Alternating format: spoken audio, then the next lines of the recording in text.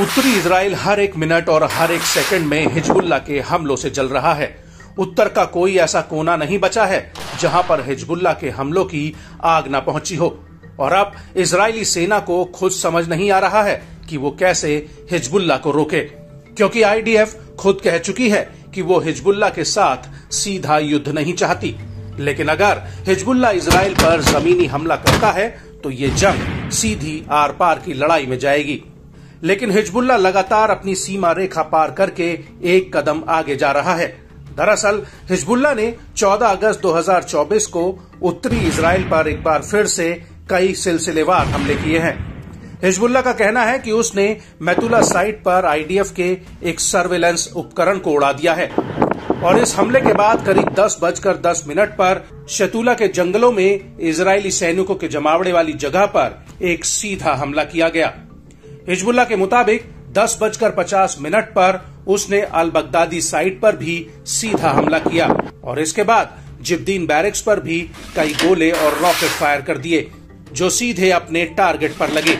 आपको बता दें कि हिजबुल्ला ने यह भी दावा किया है कि उसने कब्जे वाले कफार चौबा हिल्स में अल रामथा सैन्य अड्डे पर भी कई रॉकेटों से हमला किया है, जिसमें आईडीएफ को भारी नुकसान हुआ है। और इस हमले के बाद हिजबुल्ला ने उत्तरी अबीरिम में एक बड़ा ड्रोन हमला किया।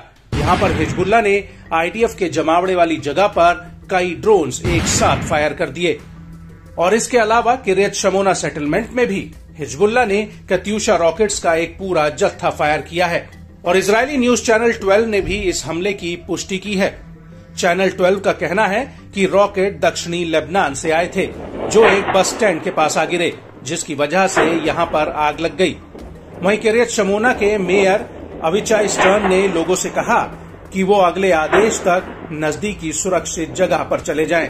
लेकिन इन हमलों के बीच इसराइल की नॉर्दर्न कमांड के अधिकारियों का कहना है कि हिजबुल्ला उत्तरी बॉर्डर पर जमीनी घुसपैठ के लिए ट्रेनिंग कर रहा है इसको लेकर इजरायली न्यूज़ चैनल वाला ने आईडीएफ के अधिकारियों के हवाले से अपनी रिपोर्ट में कहा कि हिजबुल्ला के उत्तरी इलाके में जमीनी हमला करने की संभावना पहले से कहीं ज़्यादा हकीकत नज़र आती है।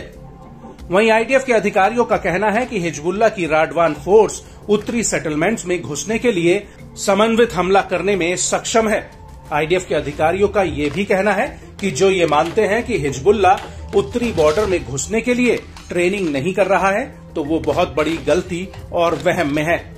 नॉर्दर्न कमांड का कहना है कि हम सभी को ये मानकर अपनी कार्रवाई करनी चाहिए कि हिजबुल्ला के पास उत्तर में घुसने और मिलिट्री पोस्ट पर अपना झंडा लहराने की ताकत है, और वो उसे आग के हवाले भी कर सकते हैं।